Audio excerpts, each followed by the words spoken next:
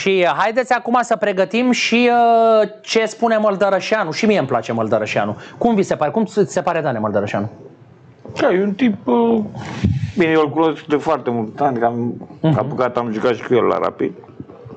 Am copil cu minte, un copil care a învățat foarte mult și a dorit întotdeauna să fie antrenor. Uh-huh. Bravo! Tehnician bună, Da. A? Cum ți se pare, Robert? Da, mă, un, jucă, un uh, antrenor bun și ca jucător. El a fost un jucător serios, un jucător constant. Asta demonstrează și ca antrenor cu toate că e cu totul și cu totul altceva să antrenezi. Uh, mi-aș dori să fie mai vocal Coman. Pentru că s-a făcut atâta tamtam când a plecat, s-a făcut tamtam când s-a întors. Uh, Cred că ar trebui să fie mai vocal. Și referitor la arbitraje, și la ce se întâmplă pe acolo, și cu Tasu, și cu Netasu. Uh, Măldărșanu ar trebui să fie mult mai mult lăsat să antreneze. Să antreneze, să-și vadă de echipă, o face foarte bine.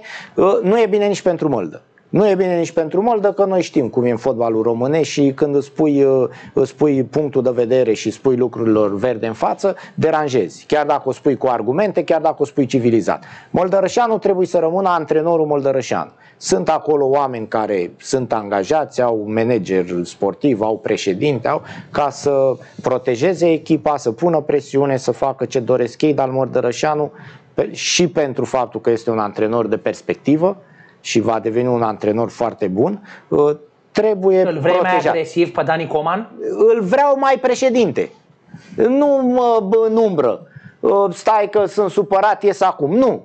De ce trebuie să vorbească Moldărășanu de arbitraje? De ce trebuie să vorbească Moldărășanu de VAR? Nu. Moldărășanu trebuie să vorbească de paraschiv, trebuie să vorbească de jucători, de tactică, de, de lucruri despre care vorbesc antrenorii.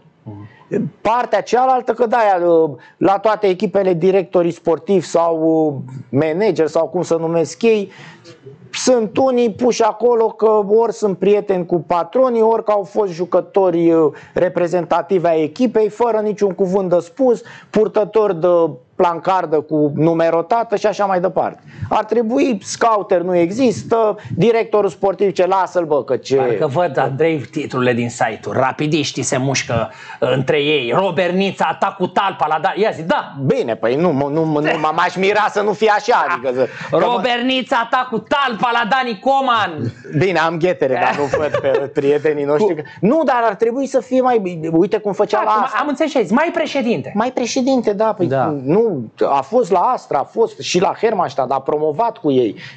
Cu, uite, cum a Mai ieșit- vână, cum zici, mai vână. Păi el se certa cu galeria și nu vorbește cu presa. Da. Eu înțeleg că se pune într-o situație nasoală, că arbitrii ăștia au ținere de minte. Ei nu țin minte cu rasismul, cu xenofobia, cu asta. Da. Ei uh, arbitrează, nu după, nu, interpretează în loc să aplice regulamentul, ei îl inter- interpretează. Nu mă, regulamentul se aplică, eu așa știu.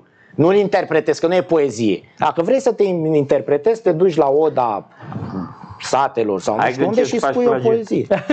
Faci plagiat aici. Da, da. Nu, deci îl vreau mai cum era el Am înainte. înțeles. Nu... Cum e? Andrei, uh, cum se pare Măldărășanu? O să vedem imediat și declarațiile despre meciul cu Craiova.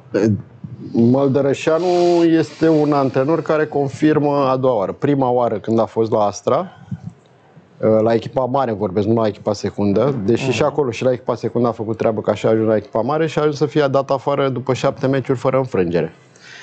Uh, A, s-a dus să muncească jos, a ajuns, a, iarăși a antrenat pe la Metaloglobus, ce ține minte din Liga a doua, a venit la la o echipă de Liga a doua cu pretenție de promovare, a promovat-o și nu doar că a promovat-o, ci a, i-a asigurat punctele de era aproape să intre în uh, play-off cu toate punctele alea. Deci, dacă țin cont de expresia folosită de domnul Mircea Lucescu, antrenorul este egal cu ultimului rezultat, atunci Moldărășanu este foarte sus în raport cu oricare ar fi ultimului rezultat de până acum. E pe val, un antrenor la, mo- la modă. Da, și dacă reușește să salveze echipa de retrogradare, eu cred că va fi o soluție pentru echipele mari cât de curând din campionatul nostru.